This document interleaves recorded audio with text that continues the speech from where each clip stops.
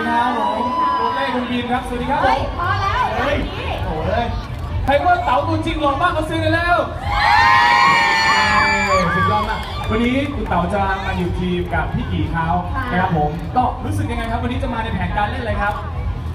มั่วอย่างเดียวครับผมเตะมั่วอย่างเดียวใช่ไหมครับปกติเตะบอลหรือเปล่าครับคุณเต๋าครับปกติไม่ค่อยเตะครับอ๋อปกติไม่ค่อยเตะเลี้ยงอย่างเดียวครับจะเลี้ยงอย่างเดียวหมายถึงว่าเลี้ยงฟุตบอลเหรอครับเลี้ยงผู้หญิงเลยนะครับ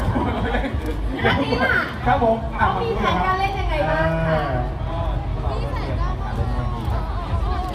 อ๋อหลังเวทีพี่เต้พี่เต้ตาบอดสีนะครับผม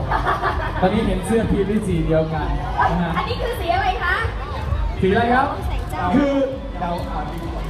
เอาสีเหลืองอันนี้ตาบอดสีเหมือนกันนะ นี่มันเขียวสะท้อนแสง ใช่เลยครับคืออย่างนี้เนี่ยกรรมการให้ใบเหลืองเนี่ยคิดว่าใบแดงเดินออกจากสนามเลยนะครับผมไม่ได้นะครับผมอะคุณดีแล้วครับวันนี้รู้สึกไงบ้างครับ ก็สำหรับงานในวันนี้นะครับ True Summer Splash นะครับ ก็ True Wave 4G มอบความสุขทั่วไทยอยู่แล้วนะครับวันนี้ใครมาอยู่ตรงบริเวณหน้าห้างเซ็นทรัลเวิลด์นะฮะก็มาสนุกกับพวกเราได้ วันนี้เราได้ตัวแทนจากแฟนคลับนะฮะสองคนมาอยู่ทีมเดียว เราแบ่งกันเป็นทีมละสองคนแล้วมีผู้เล่นทางบ้านอีกสองคน พ่อแม่บีมถูกต้องนะ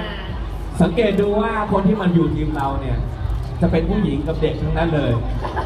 เราดูเราดูเก่งขึ้นมาทันทีเลย ทั้งสองทีมเป็นผู้ชายสองคนเด็กกับผู้หญิงกับเด็ก ดูดีขึ้นมาทันทีเดี๋ยวเราลุ้นกันนะว่าสนุกแค่ไหนครับค่ะ อะขอเชิญตัวแฟนคลับมาเลยครับผมมาเลย